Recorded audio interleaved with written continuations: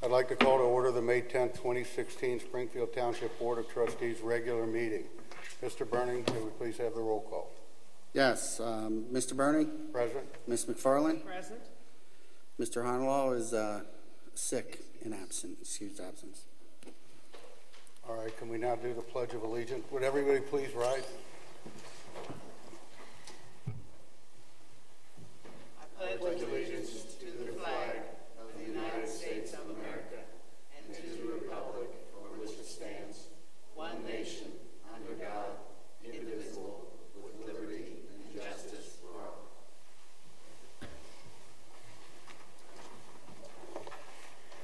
Thank you. Next, we would like to uh, have a special recognition tonight honoring members of the Finneytown Athletic Association for a volunteer project that they completed on behalf of the township. So I would, Kim, would you want to talk about that a little bit? Sure. Um, Finneytown Athletic Association for the last several years has worked with the Reds Community Fund on uh, a volunteer project. And both this year and actually last year, they did significant projects in at Hellwig Park and also at Hillside Park. Um, they had over 80 volunteers show up on April the 23rd and the 24th. They collected 22 bags of litter from the streets and the tree lines and in the creeks, and they also painted the backstops uh, from several of the fences, uh, the baseball fences at both Hellwig and um, Hillside Park. All right, thanks, Kim. If y'all would like to come up, is anybody here from the Finneytown I Athletic think I Association? see them.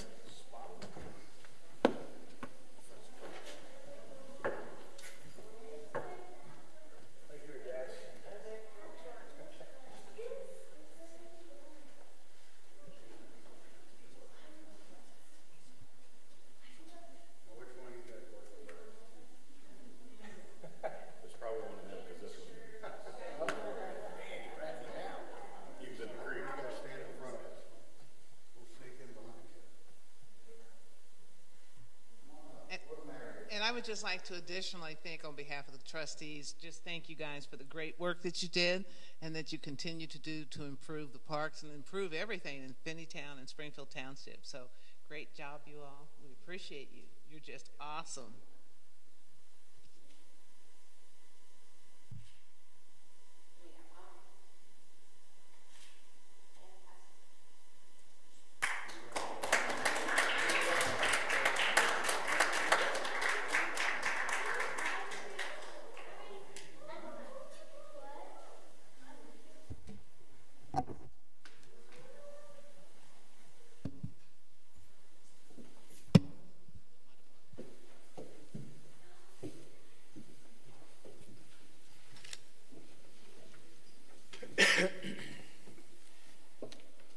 All right, going back to the meeting, can we have the meeting minutes from the April 12th regular board meeting, the April 26th regular board of work session, and the May 6th bid opening meeting? If there are no corrections or revisions to the meeting minutes, I'll entertain a motion for approval as written. So move. All those in favor? You have to, You need a second. I second. All those in favor? Aye. Aye. Motion carries. Mr. Burning, may we please have the financial report? Yes, you may. For the month ending April 30th, 2016, the township expenditures were $1,878,000, 600 $878,676.17, and receipts were $218,246.93. The ending cash balance was $17,820,598.82. These includes obligations for expenditures, payrolls, regular operating costs, ongoing capital improvement projects, and investment. What I request is a motion to, um, to approve these, um, the fiscal officer report. So move. Seconded?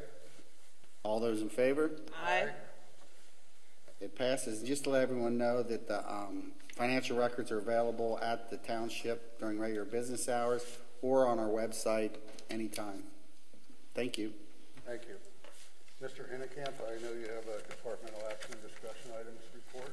I do. Thank you, Mr. Burning. Uh, First two items uh, for action are sort of interrelated.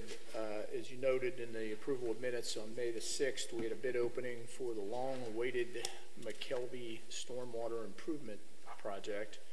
And uh, unfortunately, the bids did come in a little higher than the estimate.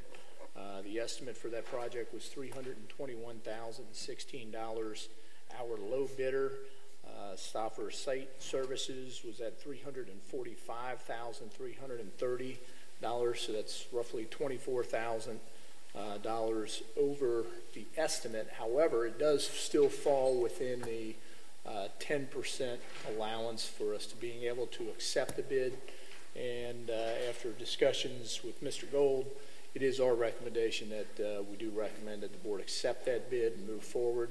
Uh, We don't believe that uh, rebidding it will uh, bring in a lower bid uh, at this time, given the kind of design and complexities of that project. So um, that would be our, our recommendation. So just looking for a motion um, for the board to uh, award that, that So- contract, subject to final review by legal counsel.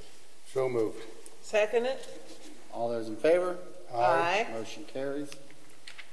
And then, as I mentioned, the, the next item is sort of interrelated, and what we're going to recommend is, is that we're at that time of the year where the Hamilton County Engineers uh, makes available uh, what they call their 20% funds. This is a portion of funding that the county engineer receives. I think it, it uh, originates from gas tax that the engineer receives. They then make a portion of that, 20% of it, back available to each of the jurisdictions within Hamilton County, um, all the townships uh, in the county. Uh, Historically, what we have done with that money is we have taken our twenty percent money and, and dedicated that money towards what we used to call reclamite or rejuvenation project. This particular year, given the increase in the McKelvey Road project, we would recommend um, that we submit our application for those twenty percent monies for uh, the, uh, the, a portion of the McKelvey uh, Road Storm Sewer Project. It won't cover all of the costs. I think there's about a thousand dollar difference that we'll take out of Road District, but uh, it will cover most of that overage uh, that, uh, that we expected. I think that would be a good thing. I mean, it's a, we're lucky to do, to get that opportunity. That is Did you want to say something? I was just gonna say, the residents in that area will be very excited to see construction, so the sooner we can get construction going, the better. Now, when do we estimate the construction is going to begin? This year or next year? It will be this year, Okay. late summer, Late summer, and we're looking at things right now. goal is to be completed before the end of the year. end of the year. So motion I'm looking for is that uh, the board uh, dedicate our 20% distribution funds for the McKelvey portion of McKelvey Road Stormwater Project. So move. Seconded? All those in favor? Aye. Motion carries. Next two items I have are similar, one for Mount Healthy School District, the other for the Finneytown School District, and these are our school resource officer agreements, something we do annually. For the Mount Healthy agreement, there is no change from last year, and for the Finneytown uh, agreement, there really technically is not a change. We have modified the hours somewhat, and Chief, as you indicated to me, those were the hours that were originally always intended to be. So uh, this isn't really a change, it's what the, the general uh, understanding always was. That's correct. There's just a fluctuation of actual school hours each year, and it's stated and understood in paragraph uh, two that the school resource officer is there for eight hours each day school's in session. So essentially no change. So that, that's it. So in all other ways, the agreements uh, for both uh, Mount Healthy and Finneytown are the same, and I just need a motion from the board authorizing me to enter into those agreements. So move. Seconded? All those in favor? Aye. Aye. Motion carries. Uh, The next item I have has to do with a request we received um, from some folks from the Historical Society over in the Covered Bridge area. Um, Just a little background there, the Covered Bridge currently has a uh, historic marker right before the bridge as you enter it, kind of designating that as a historic bridge. Uh, The request that we have is to locate a similar type marker which would commemorate um, something that took place on the property, which is sort of directly adjacent to it. It's uh, known as the Old Lane Estate.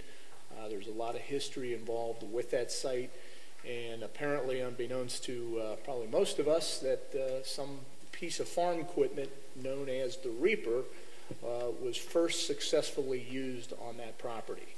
And so this marker would uh, commemorate uh, that event. And what the, is being sought here by the trustee, or by this, this group is uh, sort of support for their application to locate this marker there. Uh, it- It's very close, as Mike's looked at, it's very close as to whether it's on township right-of-way or it's really on property uh, owned by the Corps of Engineers. So what I'm seeking from the board is uh, a motion in support of, of the application to locate that sign there. And if it is township right-of-way, authorization to locate the sign there. If it's not and it's on Army Corps, we would simply be saying that the board has no objection and would support the application. So uh, that's the motion, uh, looking forward to. I have a question. What is a reaper? I was afraid you were going to ask me that, and that's why I've got Mike? Public Works Director here to answer that question.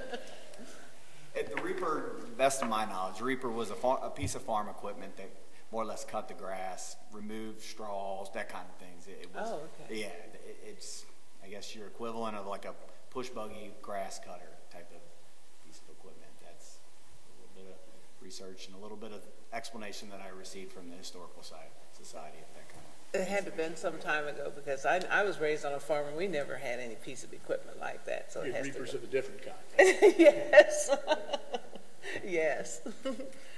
So I make a motion that we, um, support them in their, their, uh, opportunity to declare that a historical area. And Second. approve, if in case if it's in our right-of-way, approve. That we location. would support that, yes.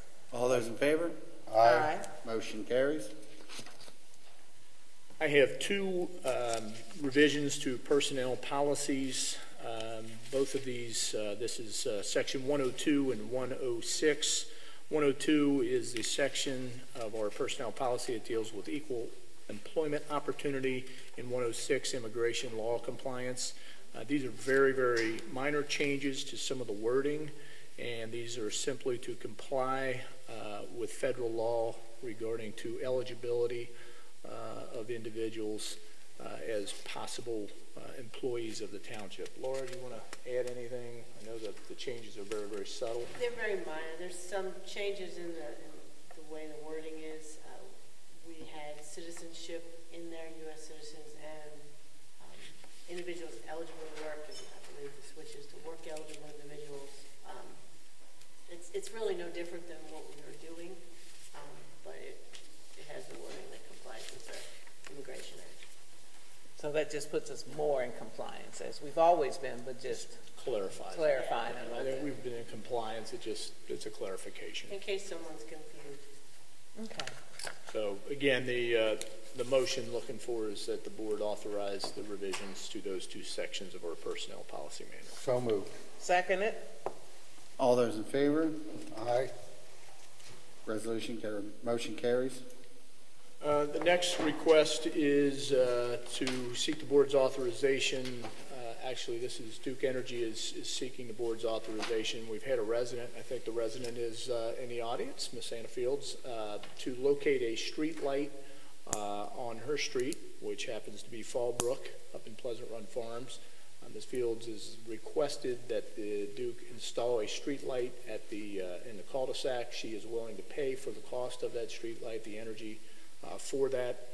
Uh, What the board, what, what the staff did is, upon that request, is we did send letters to folks that would be affected by that to see if there was any opposition. There was none.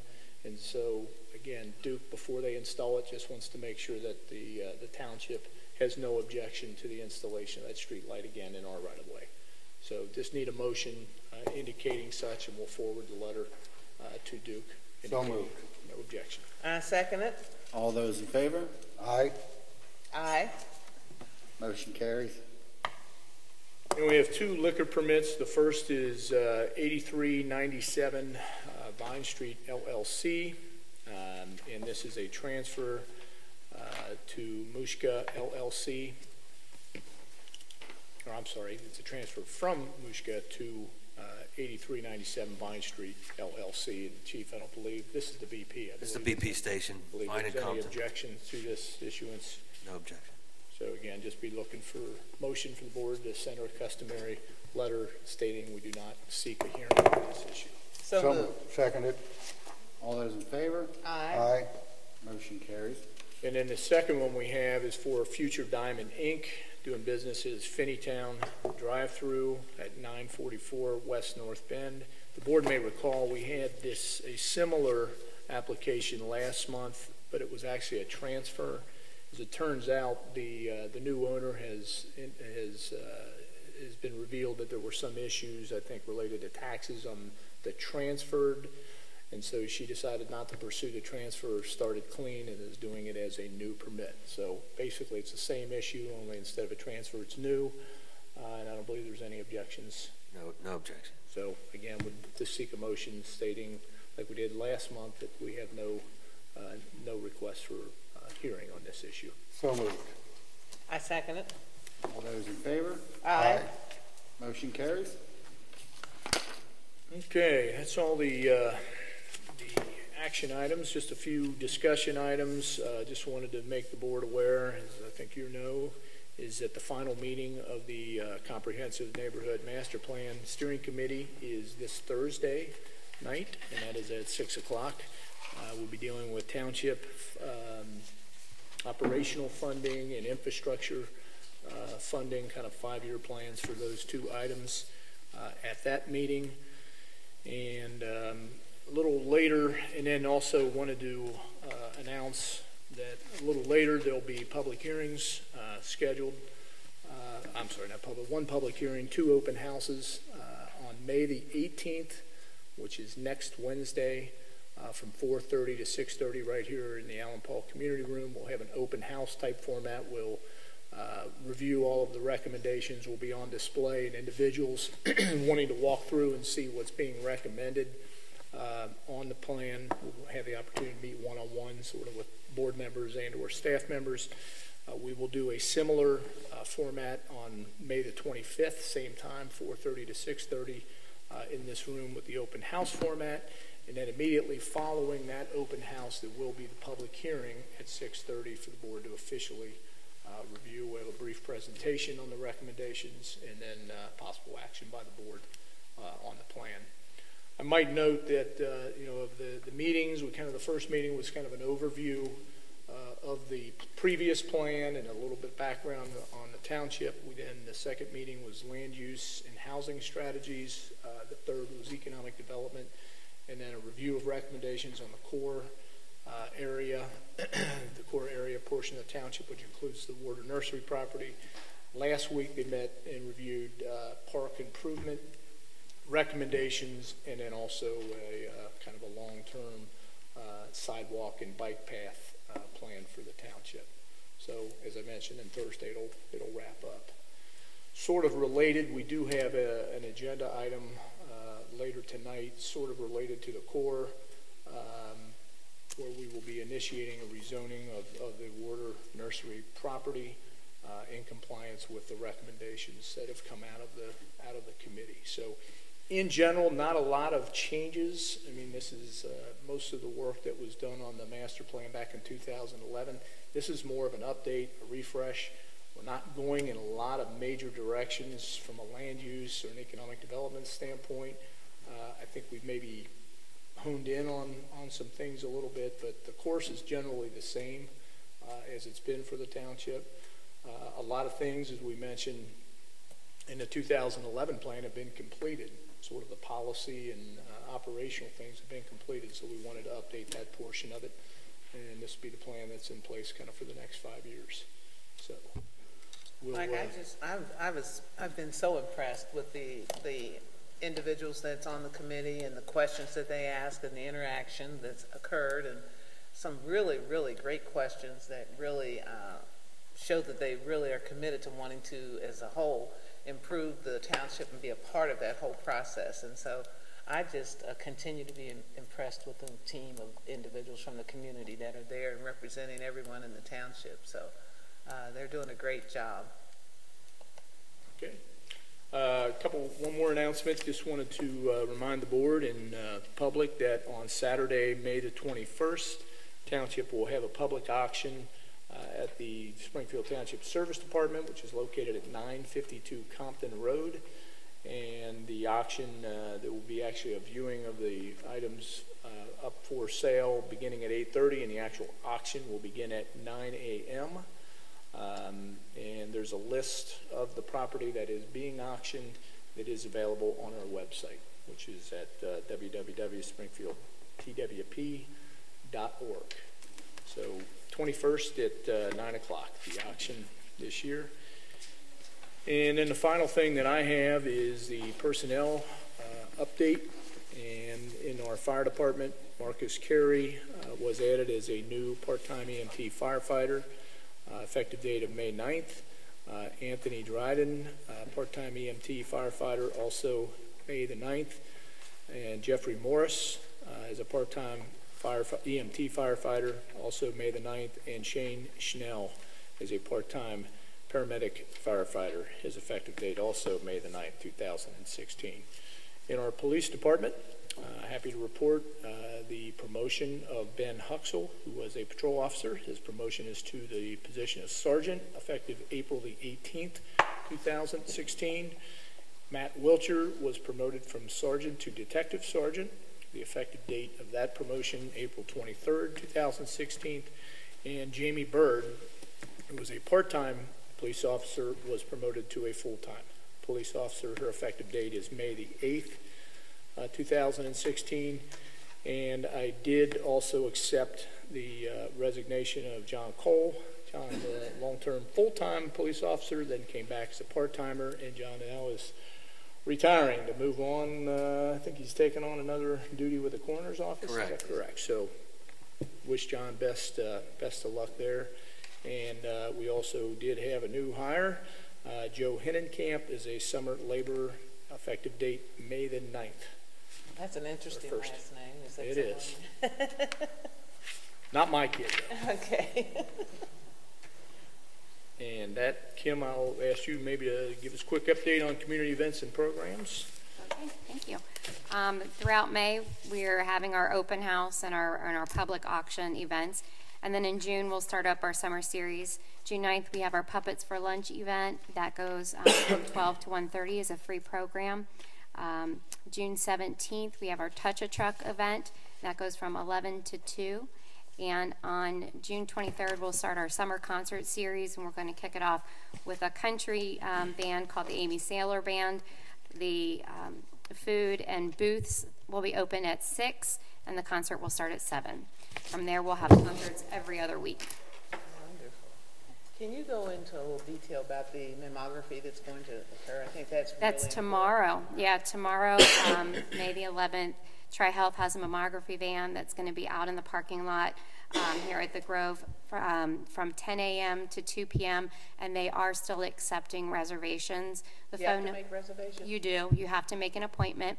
So there's a, uh, a phone number that's on our website and also an online scheduling um, that's available. And actually, we had a, an e-news that went out today to remind people that, that, that those are still open. Thank you, Kim. The board has copies of all the department and activity reports, so unless there's any questions, that is all I have. Uh, thank you, Mike. God bless you. We have eight resolutions on the agenda before the board tonight. First resolution is resolution number 31-2016, declaring nuisances pursuant to Ohio Revised- Revised Code Section 505.87 at various listed properties within Springfield Township and authorizing statutory actions necessary to abate the nuisances. Is there a motion? So moved. Seconded? Mr. Burning? Aye. Ms. McFarland? Aye. Motion carries. The second resolution is resolution number 32, 2016, declaring surplus property in Service Department Senior Center and Grove Event Center. Is there a motion? So moved. Seconded? Mr. Burning? Aye. Ms. McFarland? Aye. M- Resolution carries. The next resolution is resolution number 33, 2016, authorizing participation in the ODOT winter contract 18, 17 for road salt. Do we have a motion? So, so move. Seconded? Mr. Bernie? Aye. Ms. McFarland? Aye. Resolution carries. The next one is resolution number thirty-four twenty sixteen, authorizing private sale of unneeded and unfit for use property in the Drug Abuse Reduction Task Force Department. Do we have a motion? So moved. Seconded. Mr. Browning? Aye. Ms. McFarland? Aye. Resolution carries. Next is resolution number 35-2016, authorizing the sale by internet auction of vehicles forfeited to Springfield Township pursuant to section 4503.233E1 of the Ohio Revised Code, which are no longer needed for public use, are obsolete or unfit for use in the Drug Abuse Reduction Task Force of the Police Department. Do we have a motion? So move. Seconded? Mr. Bernie? Aye. Ms. McFarland? Aye. Resolution carries. Next is resolution number 36-2016, authorizing the private sale of junk motor vehicles which were titled to the township pursuant to revised code forty-five thirteen point six one and revised code forty-five thirteen point six two, and which are not needed or unfit for use in any township department. Do we have a motion? So move. Seconded? Mr. Bernie? Aye. Ms. McFarland? Aye. Resolution carries. The next resolution is number 37-2016, authorizing the sale by internet auction of vehicles forfeited to Springfield Township pursuant to section forty-five oh oh three point two three three E one of the Ohio Revised Code, which are no longer needed for public use, are obsolete or unfit for use in the police department. Do we have a motion? So move. Mr. Sec- Bernie? Oh, Seconded? Mr. Bernie? Aye. Ms. McFarland? Aye. Resolution carries. Next is resolution number 38-2016, resolution to initiate a zoning map amendment for listed parcels from R two and R three single-family residential to SP-PED, which is special purpose planned unit development. Do we have a motion? So move. Seconded? Mr. Bernie? Aye. Ms. McFarland? Aye. Resolution carries. All right, those are all the resolutions. Is there any old business before the board? I have none. Okay. Is there any new business before the board? It- it- I, I would like to um, just kind of update our community about the Finneytown, the, the recent uh, great news with the Finneytown school system.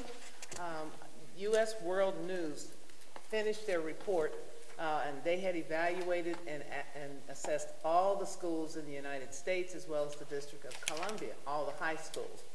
And I'm just happy to say that uh, in the state of Ohio, Finneytown High School came in, ranked in as number 35 out of all the schools in the state of Ohio, and there are about 800 schools in the state of Ohio, public schools, and number seven in Cincinnati. One of the things that I think it's really important to look at is what the teachers, what the administration has done, work, and the families, you know, working toward motivating the students to uh, strive for excellence in the school system. Um, there's a ranking process, and that involved about four steps, and those steps were very strategic meaning that you had to complete step one before you could move to step two, and step two before you move to step three, and vice versa to step four. Uh, and the, the threshold that they used was something, a tool called College Readiness Index Value. Basically, what they were looking at with the students in all of the schools is how the students were prepared just to be able to graduate from high school as well as become um, college ready. So Finneytown just did a remarkable job in, in scoring. Uh, some of the ranking uh, determinations that they looked at was how many students in all of the schools graduated from high school as well as became college ready. And one of the things that I found really phenomenal is if you didn't want to go to college, the goal was to have individuals graduate from high school and then maybe pursue uh, other types of continuing their education. So uh, the school followed and adhered to some really strict best, best practice, I'm sorry, academically. And for them to rank as they did, they earned what is called a silver award, a civil award and a medal award. And so in order to do that, uh, they uh, completed all those standards. It's just like if you've ever been involved in an accreditation process. As you strive for excellence, there are certain criteria that you have to continue to achieve. So because of that, the U.S. World News now is giving them a banner And only those schools that achieve those awards can demonstrate and you hang those banners. So it's a great, great job, and we are so proud of the Finney, Finneytown school system, proud of the uh, teachers, the administration, everything that they did to motivate and kind of revitalize the kids from when uh, three or four years ago to where we are today. So I just want to thank all of the staff again and administrators who came together as a team to make this happen. So I think we should just on just give them a big hand because that was a big job, and there's students here, so we got some things to look forward to. And as a side note, when you look at the report from U.S. News and World Report, a couple of the schools are within a few places of Finneytown or Sycamore and Madeira, where you always hear how great their school systems are. And Finneytown was right there within a few spots of where they ended up. So great job, Finneytown. Amen. That's all I have. Okay, now we've come to the citizens' particip participation. If anyone in the audience here tonight would like to address the board, I would ask that you please come forward to the podium, state your name and address for the record. Do we have anybody that wants to speak to the board?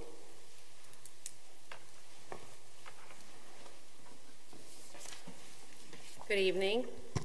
Good evening. I'm Carrie Reisner, and I live at 856 Denier Place. And I'm here to um, give you a quick review of the history of when the Warder Nursery was purchased, and then ask some questions about the development of it.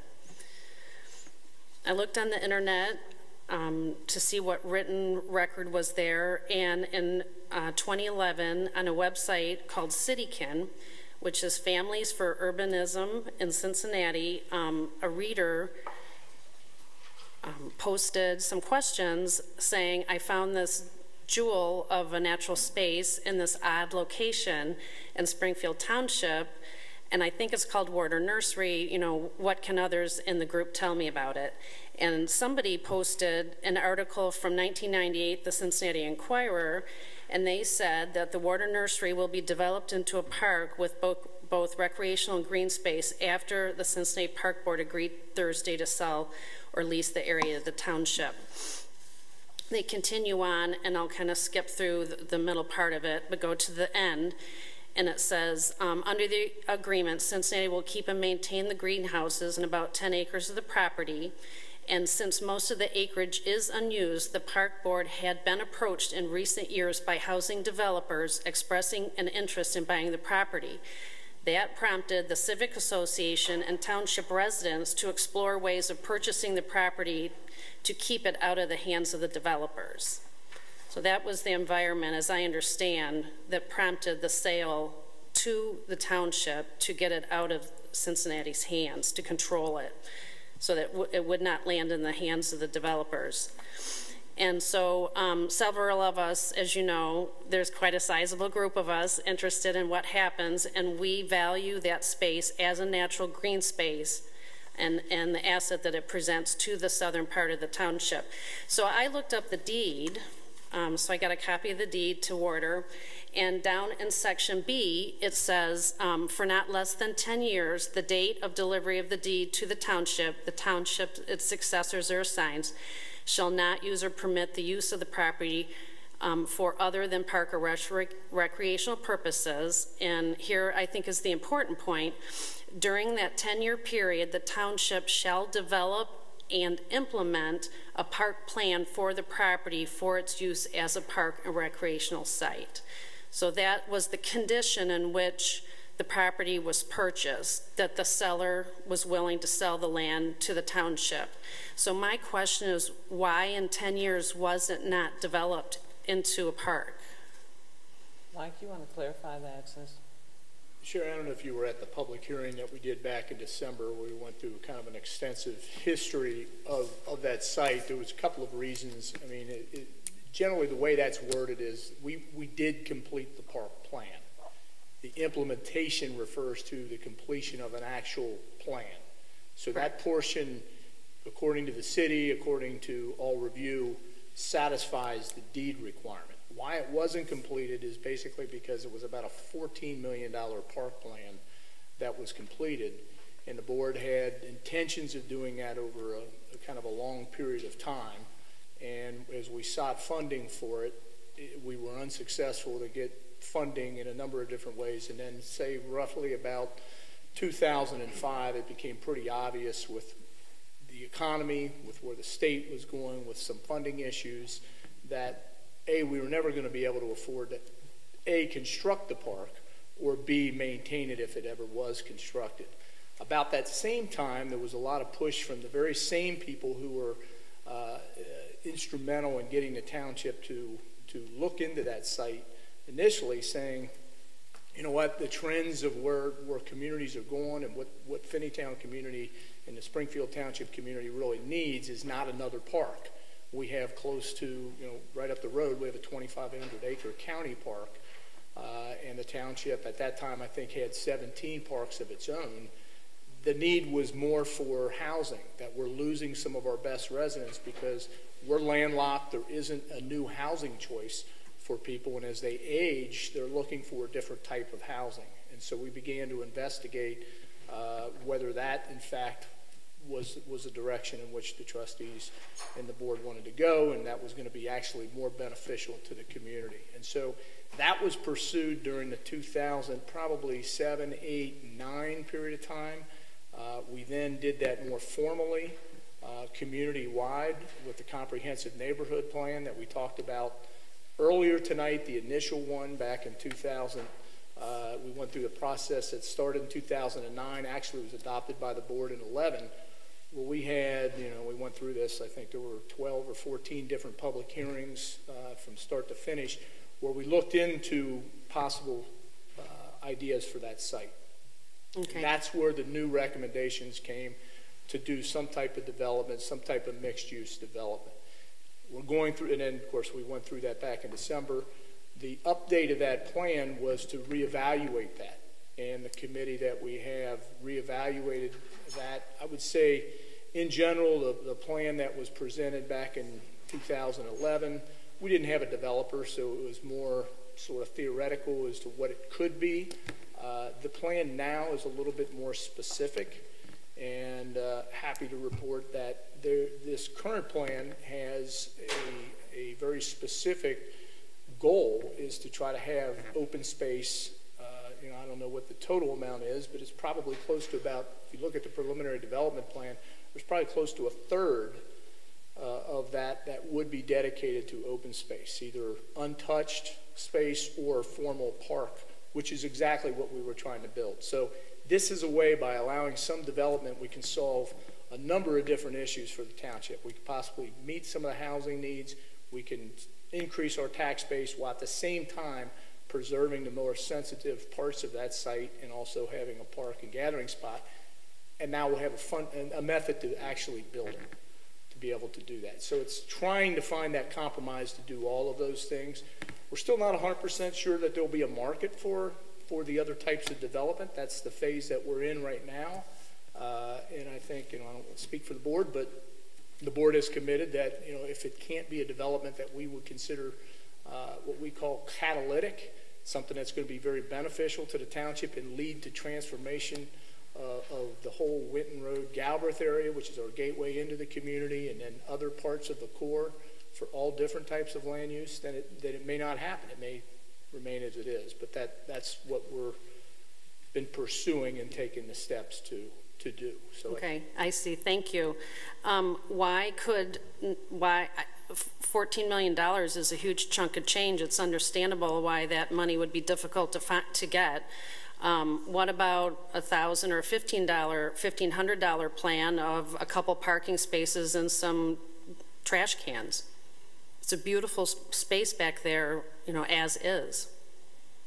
Well, it, it's a beautiful space, but I think, and again, I'm, I'm just speaking to the the park plan that we went through involved uh, probably a year-long community study. That's not what the community asked for. The community asked for the things that were in that master plan that we had public hearing after public hearing was heavily engaged in for the for the residents. And I think to make, I, I think the thing was at that point was to try to find something that the entire community could benefit from, uh, not just the people that live immediately adjacent to that.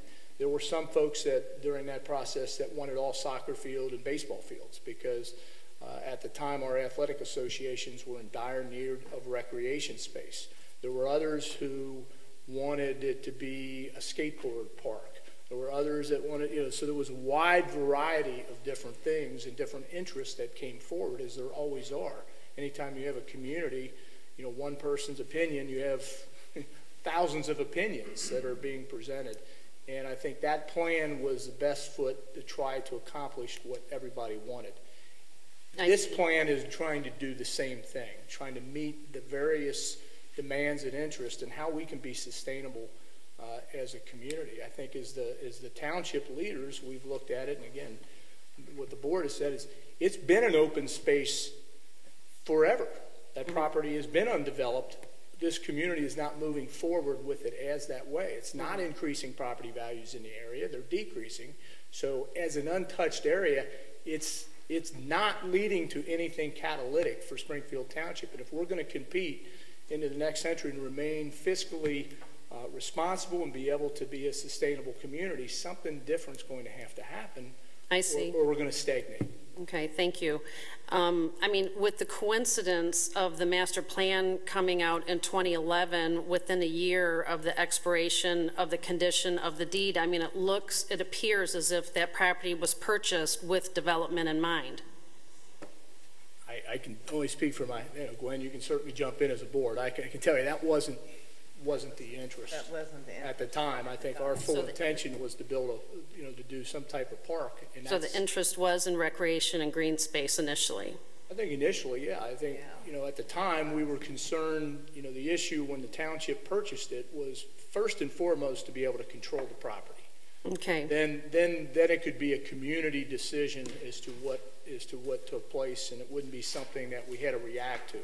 The current zoning of that property uh, is R3, and it allows for, if you looked at just a pure gross density, you're talking about the possibility of, if you just take the, the Warder site, which is about 40 acres, uh, you're talking about close to 300 very, very small homes that could be built there as of right today without any permission, without any kind of, you know, I mean, permit, but no zoning uh, change at all. So I think the board initially back at that time, our intention was to control it, to find out what's in the best interest uh, for the community.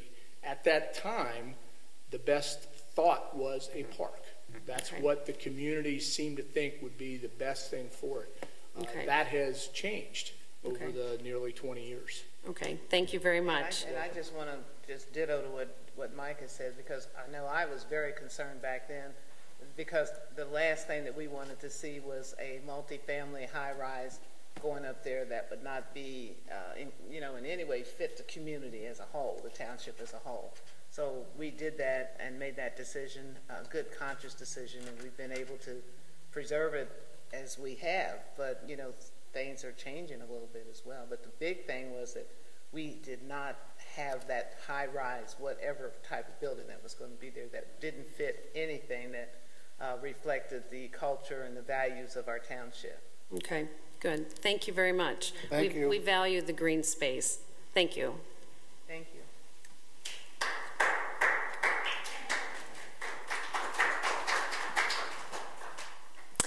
Hi, I'm Tony Malillo, and I live at 852 Finney Trail. And I have a couple questions about the Warder area also, specifically around the developer. But before I do, I just wanted to clarify, the resolution that was just passed tonight, is that um, for the entire space? Like, I guess R2 and R3, is that, how many acres is that? What, what you're talking about in this? Total, I believe there's about 70, just under 70 acres. Chris. Okay. It's about 70 acres. It includes all of the township-owned properties, so the original Warder site, and then the two subsequent purchases along North Bend Road. It also includes the uh, Finneytown School District property, so the Whitaker Elementary Oh. site, they have agreed to be a party to it, and as has the uh, Cincinnati Park Board with their 10 acres. Okay. So that, those are the major parcels that are included in the rezoning. And when it's, I think I know the answer to this, but I just want to make sure, when it's rezoned to the special purpose planned unit development, what that means is that could be housing, that could be mixed use, that could be kept park-like or open? Yes. And, okay. Mixed use. Mixed use, what it does, Tony, is, is the designation is one part of it, but in any time you see PUD, what it's really referring to is that there's a specifics, what's known as a preliminary and then ultimately final development plan approval. So what's permitted is only what's specifically permitted on that plan and ultimately approved by the board. So it is a very site plan specific. So if the plan shows, for instance, and in this case shows almost a third of the site, I think roughly, is green space, if that's what's approved, that's what it has to be. And that's the beauty of a PUD, is it locks in a very specific plan for a particular parcel. Okay. Whereas something that's not a planned unit development allows whatever the district permits, and as long as you meet the minimum standard, that use is, is permitted. This is very specific, much more uh, detailed. Okay. But it could always be rezoned in the future again, right, through this same process? Any, any property could always be rezoned, yes. Okay.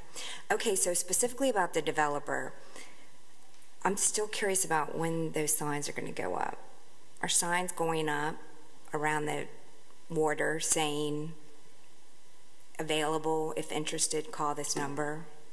Are you, are you asking, will there be signs? Yeah, will there and Yes. when?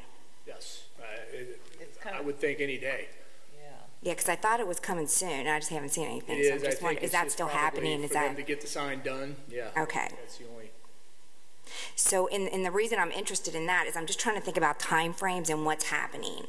So I guess my next, so, so soon is the answer to that one. So I guess my next question is, we had that big meeting in December. The developer came in, kind of said, here's conceptually what we're thinking. Um, and then since then, my understanding is, you know, just kind of on their own soliciting interest. At some point, there'll be signs, it'll be more formal. What else has happened since that meeting? Like, I'm just trying to understand kind of formal steps that have been happening sort of behind the scenes, or not behind, not like it's sneaky, but Why since December. Because we did, we have had this, the Yeah, I committee mean- has been meeting and had met, and Mike I, I think one of the things that need. came, yeah, I'm sorry, Gwen. Go One of the things that came out of that meeting was the, you know, the request from, to, to do a committee, to relook at it, to study it, and so that was, it was timed. The plan was five years old, or a comprehensive neighborhood master plan is five years old. What we try to do with most township plans, especially our land use plan, is update that every five years. It doesn't mean you change it, it just means you review it every five years.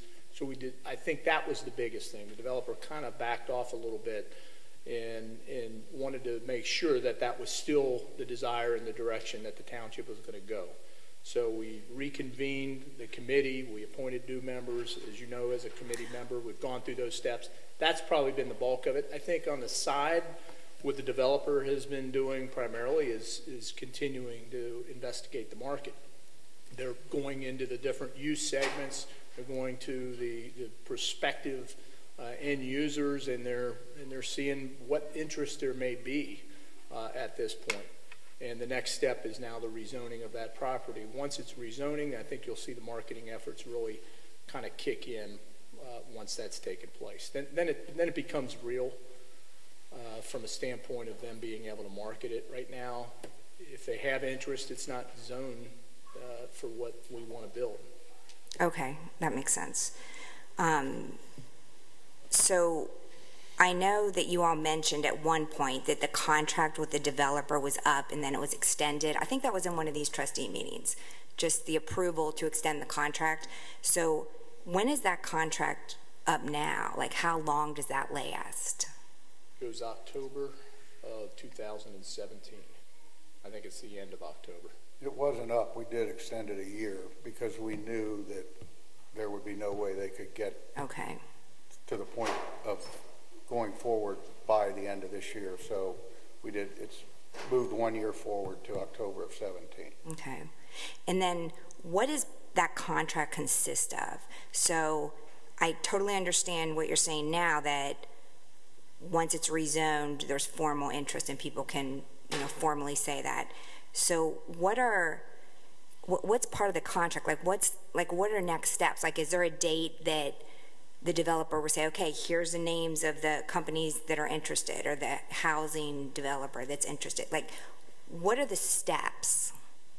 Or not everyone, but like what are some of the big steps that come next as part of that contract? Like what's the contract say? Well, the, the, the first part of the, I mean, it's, it says a lot. Which actually, says that, a lot of that's things. another question is, can, can, is that public? How do you get a copy of that contract? Absolutely public No, record. it's very transparent. But just at a high level, like what, is there like by X date, they're gonna come and say, here's everybody interested? Dates, basically what it is, is there's sort of months, there's sort of stages to it. Okay, And the stage is uh, basically that once we're, we're, we're in that preliminary development stage. Okay. They finalize sort of the master plan. That's, that's being done through this zoning process, which is being do- done by the Board of Trustees, but, you know, obviously with the developers, uh, you know, kind of approval and, and agreement of, of what's on that plan, that that's what they think the, the plan going forward should be. okay, Uh, Once that stage is, is done, the- really the next is sort of a long phase for the marketing, which we talked about.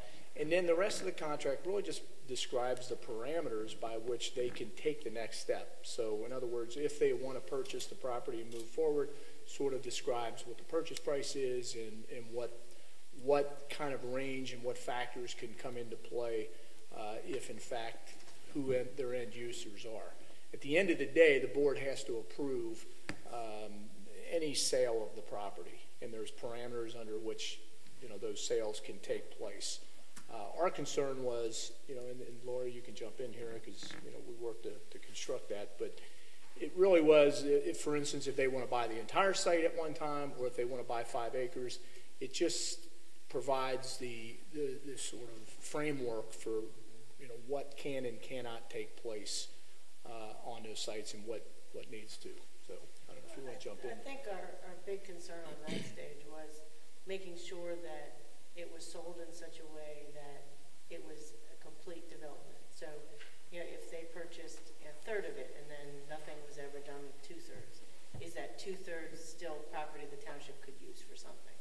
So we tried to make it very flexible from that standpoint. The board has ultimate approval on all of that so that they can, um, they can make a decision whether selling this particular piece is, is only advantageous to the developer and not advantageous to the township, in which case they don't have to do it. Uh, I must say that this agreement is highly unusual in that respect because developers don't want to do that, right? They don't, the original contract did not allow for that. The developer wanted to say what pieces it wanted, and as soon as it wanted the pieces, then the board would sell it to them. That was not what this board was interested in because we're well aware you could buy the, you could buy the only developable part in the middle of a property and then leave the rest that was not useful to the township for anything, and we weren't interested in that. This is a very important piece of property to the township. Um, I negotiated the original purchase of this property, so it has always been very important. I think we took over a year to negotiate the original purchase of this property. So this is nothing that has been done quickly or uh, without a lot of consideration, and this development contract is another example of that. And I have to say, I've never worked with a developer who has been as good about the contract terms as this developer. okay. So, and just a couple more questions along those lines. So if we did want to see a copy of the contract, how, do I email you or how do you do, how would we do that? I can, I can bring you a copy Thursday if you want. Okay, all right, that's great. Take that as a, your public records request. Okay, thank you. That was easy. All right, so back to the developer, just a couple more questions about money. So what have we paid, and, and you got to it when we talked about like we could buy piece, they could buy piece by piece, but, so right now, have we paid the developer anything right now? Okay. So when, so we never pay them? So they pay us for the land and we don't pay the developer anything? We were very adamant about not entering into an agreement. The board was very clear uh, when we started this process that, you know, the township was not going to come out of pocket for this developer, um, or any developer for that matter, to, to do a study or to do preliminary development plan, you know, that, that type of thing was not something we were, we were interested in. Uh, There is some amount of dollars not being paid to the developer. There's some engineering work that had to be done as far as the rezoning, just on a survey, so that you could do, prepare the plat.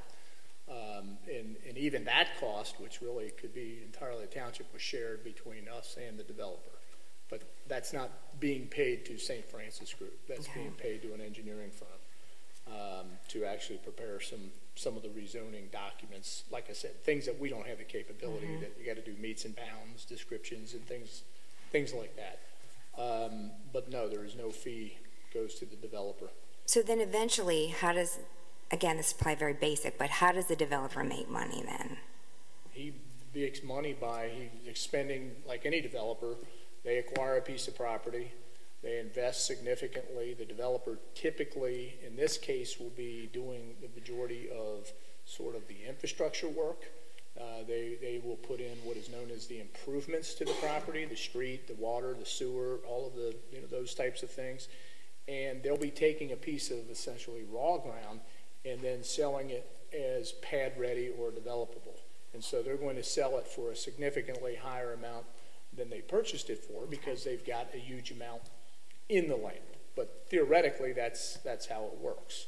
Because they will actually then sell it to these mixed-use businesses. They will Okay. sell it to the end user of the property, or maybe not, maybe they'll lease it. It, you know, there's a million, I don't know how exactly they, they'll do it. There's a lot of different ways, but that's, that's Okay. generally how any developer gets paid. They buy a piece of raw ground, ground, sell, you know, and ultimately your house was some developer Okay. that, that bought that ground and developed a, you know, developed it, sold it to builders. The builder built the house, sold it to you at an increased price. That's same, same theory. Okay. And then the way that the township gets money is upfront through the sale is the biggest chunk, right?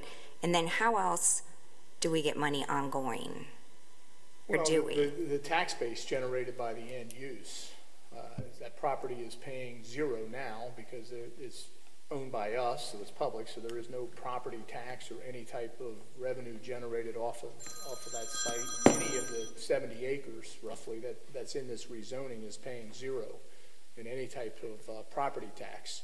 So the businesses that the developer sells to, who, the businesses will pay property tax? They will pay property tax, they will pay potentially income tax uh, through the JEDDs, uh, depending again what those users are. The residential wouldn't, but any, any other type of non-residential use uh, would be subject to the, the JEDDs, the income tax, and also the property tax. Okay. So even if the property was owned privately, it would be paying some tax, but there's no improvements on the site. So any improvements are going to elevate the assessed valuation of the property, and that's where the property tax would kick in. So at some point, there's talk about tax abatements. What, I mean, there, there are tax abatements, there are various incentives and different ways that you can fund uh, properties, and tax abatements can be granted. Uh, The township has the ability to grant uh, tax abatements on certain properties today. I don't think we're looking at tax abatement for the Warder site, uh, because our, our abilities to offer tax abatements are are basically for industrial, light industrial property. We can't do it for retail uses. okay. So you mentioned kind of the three main reasons that we wanted to do the core development were to generate income for the housing and to hopefully sort of, I don't know, recharge the community. So just from the income standpoint, it sounds like the biggest thing really is the initial sale and the income at that point. Is that right? I think that would be your, probably your big one-time amount of money coming in potentially, but the, the more, uh, the, the, the, probably the more important part is the, the revenue stream of what would come in annually. in Especially for the school base. districts would benefit the most from that. Yeah, the ongoing taxes every year that, you know, you're taking a piece that generates zero and could generate, you know, depending on the uses, you could fill in the blank, could be two hundred and fifty thousand to half million dollars of taxes annually that come in from the site when it's fully developed. Okay. Um, so thank you. I just wanted to understand the money part a little bit better and kind of the contract and the steps and the phases. Um, so in my last question, the public hearing on the 25th, so after the open house, you said there's a public hearing, and that's when the board could take action, which I would assume kind of approve the update to the master plan that we updated. So in that meeting, will, will that be an opportunity for community members to come and ask questions or make points or, you know, people tell, tell why they don't want to develop Warder? That's an opportunity at that time. Absolutely. As, as would be the open houses. If you wanted to do it sort of on a one-on-one, I mean, we'll record any, any notes. Obviously, it's, people can email, they can write Okay. letters, they can, you know, do, do it in either one of those. The public hearing is sort of the more formal way to do it, mm-hmm. but it's, it'll also be recorded. You know, each staff member, if somebody says, hey, I want to go on record saying I'm opposed to it, we'll record that as well during the open houses. Okay. And then what exactly would the board approve or not approve during that meeting? Because I, I know a lot of times when we're talking about this, we're saying it's conceptual. And by the 25th, obviously, I now understand the developer's not going to say, here's all the businesses that are moving in. So what exactly would be approved that night? What will you be approving? Terry, there's two, there's two probably maybe confusing yeah. pieces. The, the comprehensive neighborhood master plan is, is all encompassing. Right, everything we So- talked about for six weeks. Yes, so Yeah? for, for the core, and even Warder is only a portion of the core. Right, So that is maybe, you know, five percent of the overall comprehensive neighborhood master plan. So when the board adopts that, they will be adopting all of the recommendations uh, or modified recommendations for what's being presented to them from the committee. So, being on that committee, I understand that what's been talked about with the core is really continue to develop mixed use. So I guess that's, if, if the board is approving the whole committee recommendation, is it fair to say what they're approving for the Warder area is to move forward with mixed use conceptually? They were to take the recommendation as it's being presented from the committee, yes, that's what the board would be uh, review, that, that's what the board would be adopting. Okay. And the plan that, you know, the conceptual plan that was shown. Okay. And then the master plan committee stuff is over. That's done. That was pretty much approved. Warder is approved to move forward mixed use conceptually. So then what's next after that? Will there be community meetings just to talk about core development and Warder as progress is made with the developer, like there was in December, or what will be next? Well, there's the rezoning of the property, and that has a series of other legally required public hearings that follows a very uh, state statute required process. Uh, We've taken this first step to that tonight to initiate that, and there'll be hearings to review first the rezoning of that property, and with the rezoning, because it's a PUD, there's, as I mentioned earlier, the the preliminary development plan.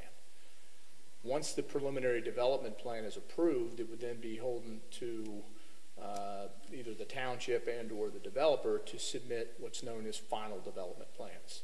When final development plan is submitted either for the entire site or any portion of it, and we would expect on this site it would come in portions, uh, that's when you're going to get all of the detail. That's when you'll know who the user is. That's when you're going to know what the architecture looks like. That's when you're going to know where the lighting is, the parking. You're going to see every final detail before uh, that takes place. That zoning would have to be in place before, well, it doesn't have to be, but in all likelihood and practical purposes, that would take place first before the developer decided to acquire the property. But that's going to set what can be built and only what can be built, and that's, that's where you get into the specifics. Okay, that, I think that's probably what I was trying to get at with my contract questions, but that makes, that's what I was really looking for. Okay. And then are those, all those type meetings public? Yes. Yes. And will they be on the Springfield Township page with the upcoming meetings? yes. Okay, final development plans are not subject to the Board of Trustees, that's the zoning commission. They go in front of the Springfield Township Zoning Commission, makes, makes all final decisions on final development plans. okay. I think it's important, um, all of our meetings and all of the, even way back before I even start, well, after I started, I can't say before I started, we've been very transparent, and the comprehensive master plan committee meetings back in 2011 and all that was always open meetings, transparent, and it's continued to be that way up to today and, and will continue in the future as well. Yeah, I think the problem in the past, people didn't maybe understand some of the wording like core development or, and I would like to say the website now is very helpful. There's a section called Warder it's easy to see information. So I think that's been very helpful. Tony, just so you know, you know about the same amount about exactly what's going to happen. I mean, when we say it's a conceptual thing, it's still conceptual to us too. We mm-hmm. don't have a bunch of information that we're not sharing with you that we know they're going to do this or they're going to do that. I, I don't, I don't know what they're going to end up doing specifically. That's what they're trying to figure out right mm-hmm. now. And I think that's my concern is I feel like people are approving things, even in my master plan committee meeting. People are saying, oh, it sounds good. It's going to be boutique. It's going to be this. But we don't know the details. And you guys are approving something that's conceptual. But Mike, you've actually helped me to understand how we're getting more granular and what those steps are and how, you know, we can be involved in those steps. And ultimately, we have to approve what they're actually going to do. The board Yeah. has to approve what they're actually going to do. They can't just decide to put uh, a restaurant in there and that we have to approve whether that Yeah. would be appropriate or not. Yeah. And again, we're looking at the township as a whole and that area as well. We're not going to approve anything uh, that's not going to be beneficial to the township and to this as a whole. I mean, that's real critical. That, again, goes back to when we initially purchased the property. We had, it was very clear that what was going to be developed there was not something that you would not want in the community, I would not want. You know, so we then intervened and purchased the mm-hmm. property, and here we are today, you know, continuing to evaluate it, reevaluate it, and your questions are great, especially with you being on that committee. Hopefully, you can explain and clarify uh, what you've learned because you were at the meeting when they had the different individuals, the three individuals come in and discuss, you know, the whole uh, development of Warder, or, and then what were the assets, what were the attributes, and where do we go from here? And that- that's real critical. I would, just say that I've got probably close to 35 years of dealing with zoning-related matters, and I can tell you, it is always a mystery to people. It, and it is, it's, it's a complicated process. It's a confusing process because of the jargon, the nomenclature. Um, I think sometimes we, you know, doing, Chris and I have been doing it for a long time, so you sort of take it for granted. But this process is is maybe only unusual in the sense that I think we've got this thing buttoned down about as tight as you can button it down because we understand the concerns not only the community has, but I got to tell you, long before the community had the concerns, the trustees have had these concerns and have been, you know, we could have sold this property probably 10 times since we've owned it for a use that the board says, no, that's not what we're trying, or, you know, and even some of them weren't bad, but the board says, no, that's not going to move the needle. It's not something that's going to, and it still might not get developed because I think the board is going to be extremely deliberate about what happens on, on this site. So what we're trying to, to accomplish is pretty, uh, I don't want to say grandiose, but it's, it certainly uh, has high expectations. Uh, and the process is confusing. Uh, it, it can, I've never been to a public hearing where the residents didn't feel like something secretive was going on. That's just the way they feel. And it's very frustrating when you're on this end because that's the process. That's the legal process that you have to go through. I think we're trying to take all of the steps to make it go through, and it feels like, well, wait a minute, you're you're proving stuff before you know what it's going to be. You never know in most cases, uh, especially on, you know in a three or four acre development, you know. But you know, I've dealt with large developments, um, you know, like Wetherington up in West Chester. And when you go through that first plan, it's a concept and it evolves over time, but there are steps and hearings, and sometimes that happens very quickly depending on the market, and sometimes it's 5, 10, 15 years. Um, you know, the Banks project down on the river, there are plans in the Cincinnati 1925 master plan that shows something that looks like the Banks with two stadiums, believe it or not. It, it's, it takes that long sometimes for those things to come to fruition, and, and so I believe me, I do understand what it feels like on the other side. It, it does feel secretive and confusing, and we're doing that intentionally so, and, and that's not the case, as Mark said. We don't know yet, but we are making sure that it goes through the stages. And the developer doesn't know yet. That's why he's putting out a lot of feelers into getting, you know, a sense of who would be interested and who wouldn't. And he's got to crunch numbers and make sure this thing makes sense economically. Um, you know, and that's all things that, that we may not know, but there will be a process, and there's a it's open public process through every stage of it. Yeah. to, to get. And And specifically, what I heard was the rezoning, the preliminary development plan, and the final development plan. the rezoning and preliminary are the same thing. With the, with the initial rezoning, that preliminary development plan goes with the rezoning. Okay. And then there are final development. That's where you really start knowing, you may not know the exact use, but you're going to know the type of use and you're going to know the architecture. And like I said, we get down to on final development plans, you know, how many shrubs, how many, every detail is known at that, at that stage. Okay. All right, well, thank you for the clarification. Thank you.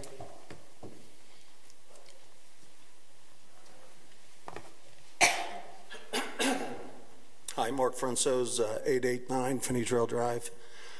Um, When we had the meeting back in December 14, I was told, it was discussed that nothing was going to happen until this June.